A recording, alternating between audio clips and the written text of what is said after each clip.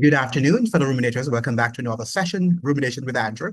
We have finally learned that Fayval Williams is going to replace Dr. Nigel Clarke as the new finance minister of Jamaica. That's Fayval Williams is about to replace, will replace Dr. Nigel Clarke as the new finance minister of Jamaica. Now, that's a very interesting sort of position for Fayval Williams, and I'm sure she's qualified academically for the position, right? And most say academically, she is qualified for the position. But we need something beyond academic qualification. Now, the observer cites here uh, her as her qualifications as Williams comes highly qualified for the position. She is a chartered financial analyst, as a CFA by profession, has an MBA with concentration in finance from Wharton Business School and at the University of Pennsylvania, and a BA cum laude in economics from Harvard University in Cambridge, Massachusetts. So she comes as academically as a very well-prepared person who is indoctrinated into the into the neoliberal institutions and how they function, right? We make no bones about it. That's what you'll get at the Wharton School and at the Harvard Business Schools, right? These schools are not geared towards teaching you about third world countries and how they function. They're not there to do that. They're there to continue with the status quo, right? To solidify the status quo and to have their graduates go out in the world and secure the world for the elites. Many of the students themselves don't even understand that. They think that what they're learning at Harvard and, and the Business School of Wharton is the is how the world should be governed and run. And that is not true if they should do further studies, if they should read their history. And I'm not suggesting here that everybody that is a graduate of Harvard School or the School of the Business School of Wharton, the Wharton Business School, are people who are prepared and who are determined to, to shape the world in the realm of the elites. But you must understand that education is about indoctrinating. And a lot of times, having graduated from these elite institutions, you cannot see the world in any other way, right? Because that is how you think that you have been educated by the best of the best, right? The most academic and the highly brilliant uh, professors, the best of the best, the creme de la creme. And you think that their philosophies and their ideologies are the only, are the ideologies that should govern our world. But it is not so. A lot of times you do come in conflict. Ideologies do come in conflict with reality. When I was going to university, I had problems when I was writing my master's thesis with how my advisor then and I did not go to an elite, what you call an elite institution.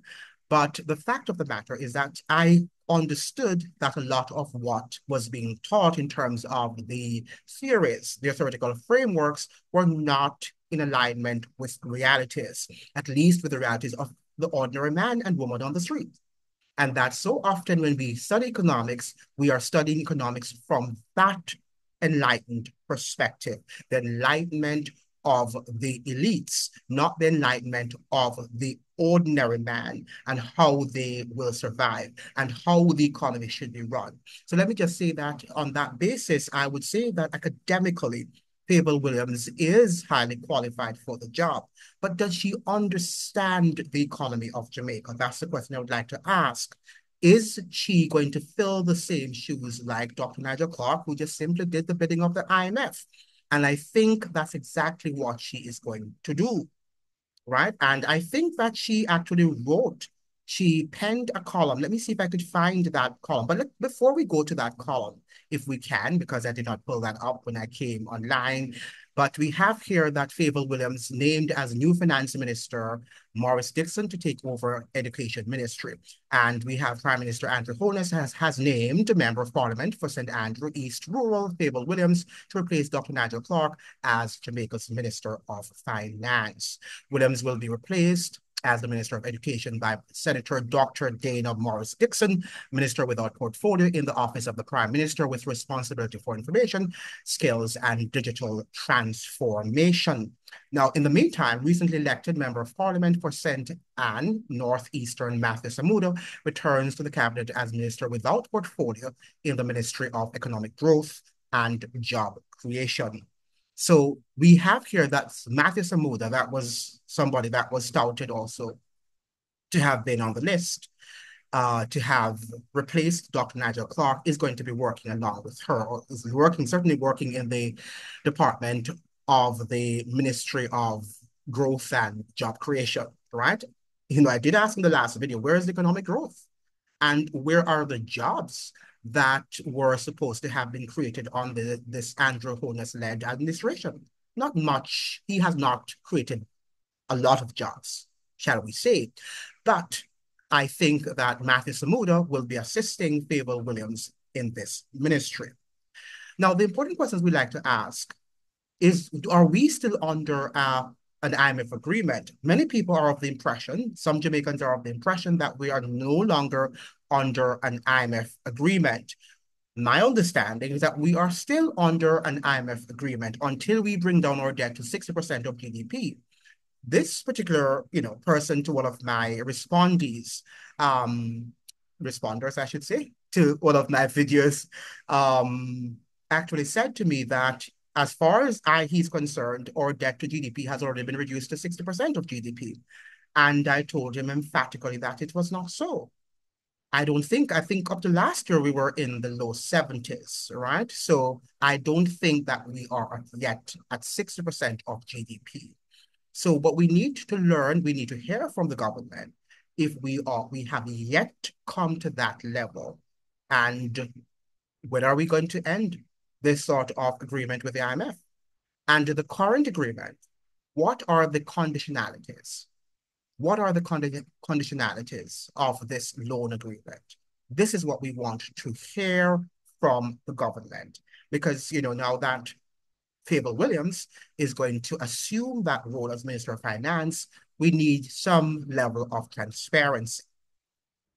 But, you know, Fayval Williams wrote an article some times ago. Let me see if I could pull it up. I'm not sure I will be able to do that at this moment, um, in which she was castigating Dr. Omar Davies for having, you know, written an article talking about austerity and the IMF. And, you know, she talked about uh, the fact she was defending, she was actually defending uh, Nigel Clarke's tenure and his role as, uh, as Minister of Finance. Let me see if I could pull that up because she wrote an article praising and she was quite effusive of Dr. Nigel Clarke's tenure and his role as finance minister. So here's what she has to say. This is Fayval Williams. And I think that when she wrote this article, and she wrote it, let me share my screen with you, I could then see, I think that something is wrong, man. Hello? Yeah, I beg your pardon. I think that something is wrong with my um my video. Is something wrong with it? Yeah saw my thing jumping. Yeah, so let me see if I can share my screen with you uh, to see if we can um, get some information from what she was saying, the arguments that she actually included in this in this article. Yeah, I'm having this computer is acting up right now. Let me see if I can all of these advertisements and so on. Okay, so we have here, she says Fayval Williams, Dr. Davies is out of touch. That's what she's saying because he was right. He wrote an article before talking about the fact that we're in this world of neoliberalism and that the IMF is perhaps is outdated. And um, she was responding to him and she says, like all of us, Dr. Davies, Omar Davies, is a product of his times. He sees the world through the lenses of his experiences, some of which, for the sake of Jamaica, we pray are never repeated. This does not disqualify him entirely, but it puts his musings into perspective. While from his op-ed in the Sunday Gleaner, it would seem as if he hasn't changed. The world has certainly moved on from his times.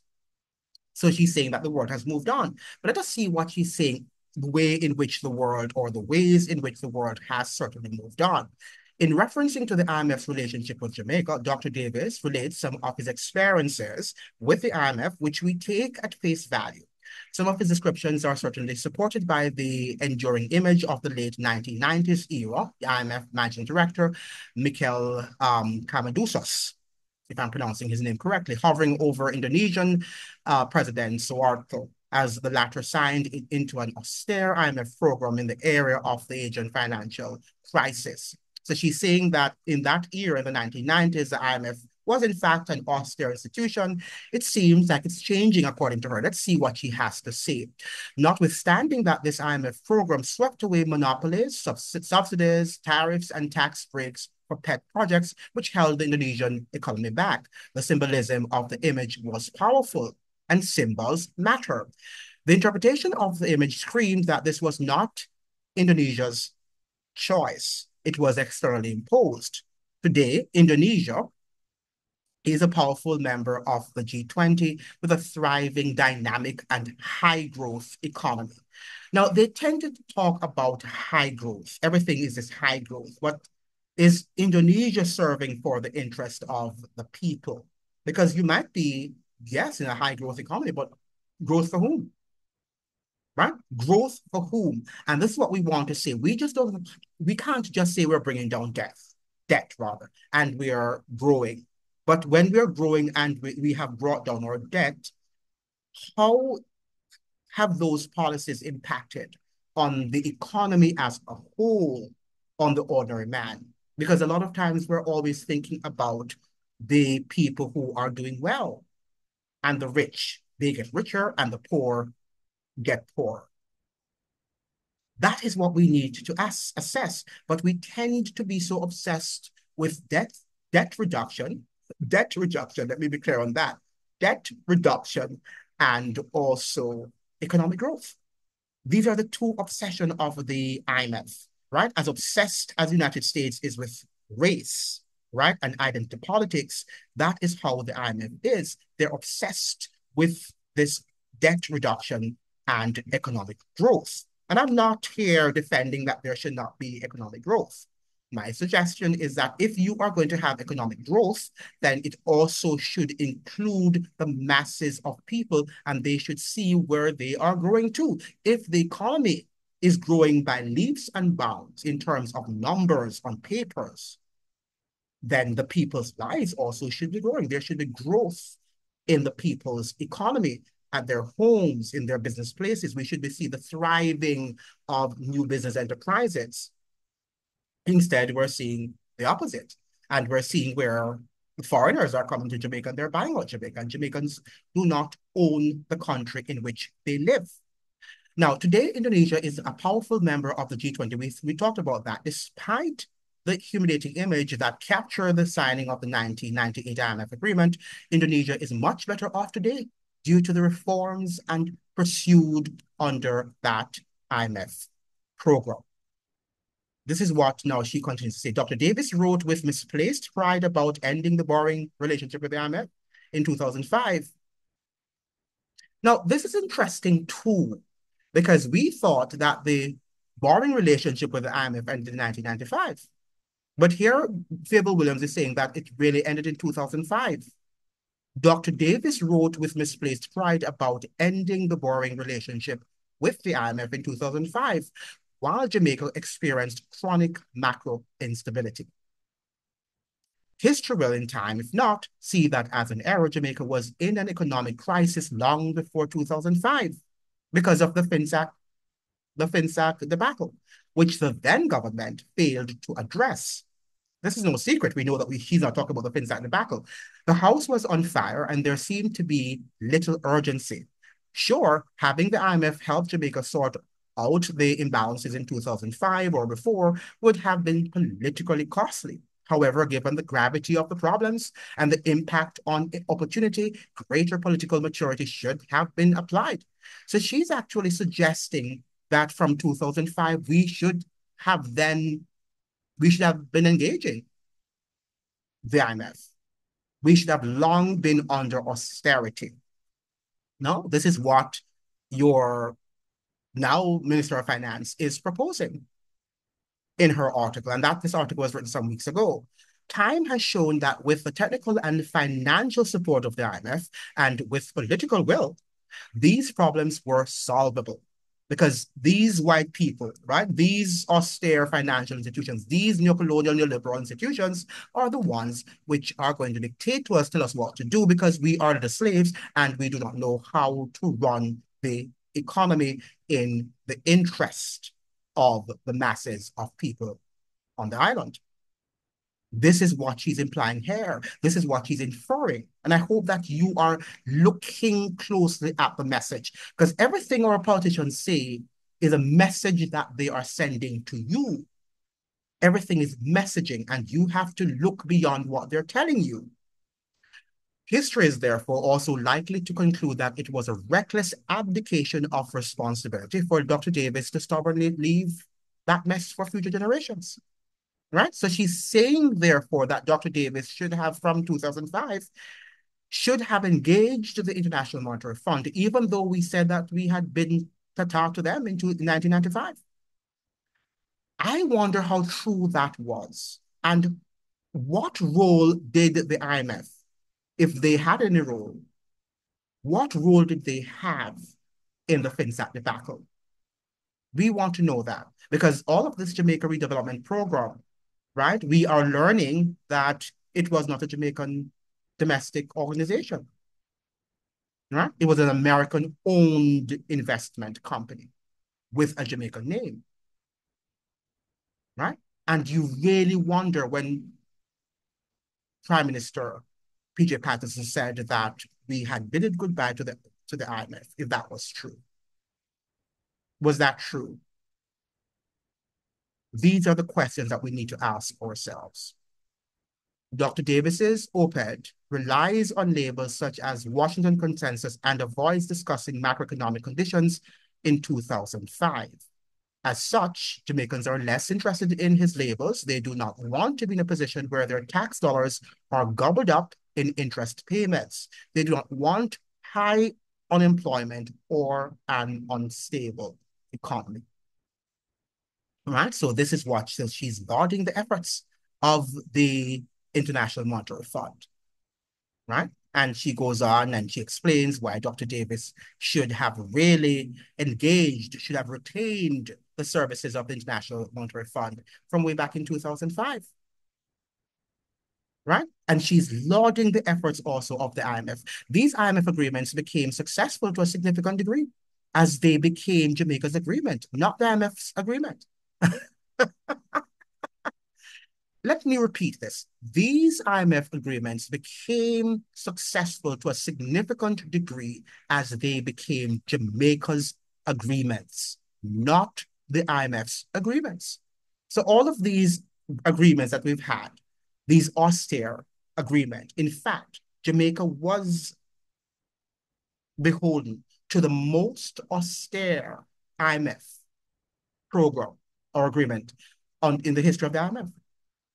Right? We were restricted to that very severe, very austere program, and yet still Fayval Williams is telling us that that was not the IMF's program. That was a Jamaica's program. Right? Even when we said we wanted 7.5, when we're running a primary surplus of 7.5. Barbados could not, you know, handle that and they argued for a lower one. Right? Greece could not afford to have to be running a primary surplus of four, and they argued for a 3.5. Hmm? Yet still, we were so much disciplined. Our government is so much disciplined and organized that they were willing to put us under the most austere IMF agreement in the history of the IMF, and because it is dubbed, according to Fayval Williams, as the Jamaican agreement, not the IMF's, IMF's agreement, but the Jamaican agreement. Now, this is the person who we're just about to have as Minister of Finance. This is her philosophy.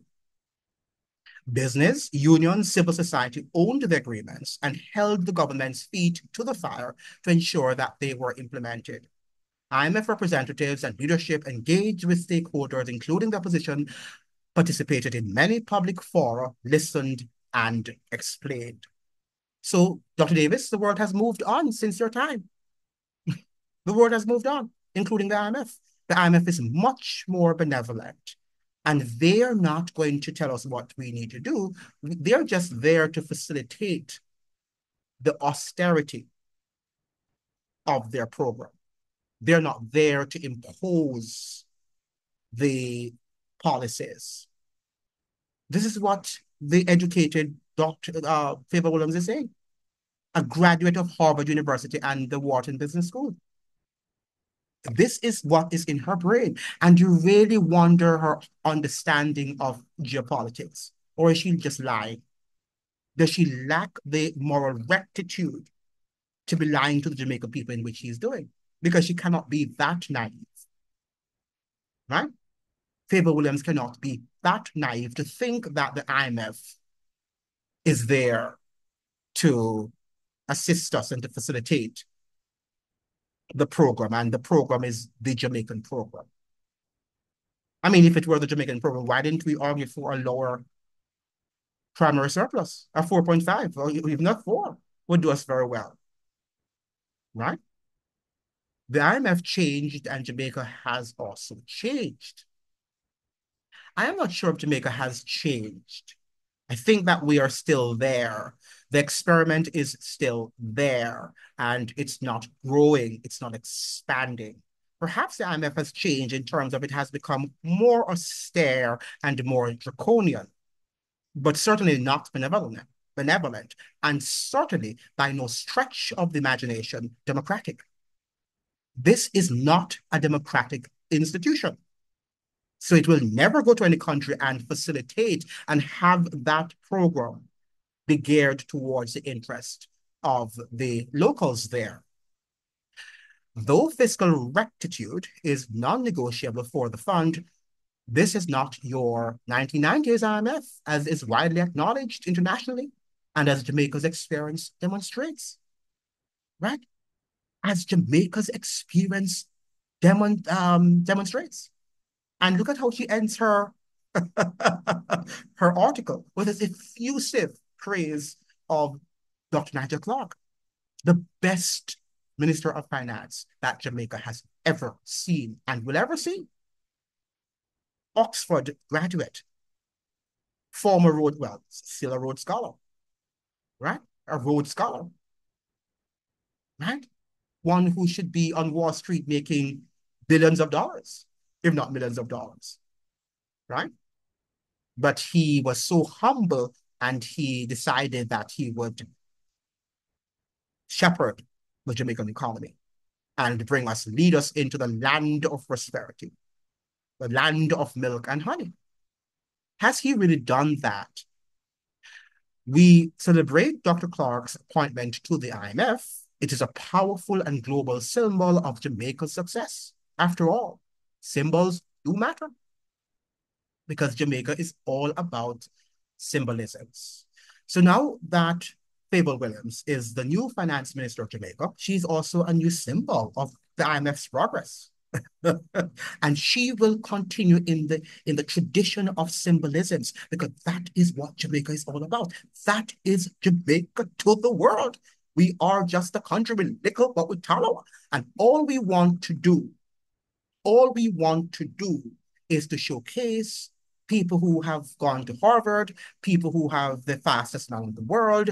We have the best music, we have the best food, all those symbolisms to the world. And at the end of the day, there is no development and there is no sort of policy system that is indicative that at any time soon we are on the road to economic development. Because if this is what the current, the just about to be current Minister of Finance is suggesting. She is on full board with what the IMF is all about. And before I end this video, let me just say what Andrew Holness is saying, because sometimes you think, you know, this guy, I'm stupid, right? I don't know what I'm talking about. But the Gleaner reported when talking about the, the um, Fayval Williams coming to this position, this is the words coming from your prime minister. The fact, the reason why he has selected her to be the prime, the new finance minister. This is the effusive um, praise that he is also um, hurling uh, at her. Um, these appointments, these appointments are designed to maintain stability and minimize disruption in the function of the government, said Holness, right? It's to, it's, you know, so let me repeat that. This is what your prime minister is saying. These appointments, the one that, you know, the appointment as um, that he has just done, electing Fayval Williams as the Minister of Finance. These appointments are designed to maintain stability and minimize disruption in the function of the government. Because anybody who dare come, who dares come to to to um to to to challenge the status quo of the government and to say that no, what the IMF is doing is wrong, is immoral, right, and is suffocating the growth of Jamaicans. Anybody who dares say that, they are not going to be tolerated. Welcome to Jamrock, the land of democracy. In fact, it is one of the most robust democracies in the Caribbean and Latin America. Thank you so much for joining. I hope that you would like, share, and subscribe. I look forward to seeing you in another video. Remember now to leave your comments and let me know if you think if Dr. not doctor, but Miss, I think she's Miss, right? Mrs. Fayval Williams, is she married? I'm not sure if she is the best minister that the prime minister could have selected right? Let me know if you think that she will do a fantastic, whether or not you think, maybe you do think that she will do a fantastic job. We hope for the sake of Jamaica, because I don't think that she's going to do a fantastic job. I think she's going to just be one of the, an empty shell. She's going to be an empty shell, as it were, for the IMF. Thank you so much. All the best to you. See you then.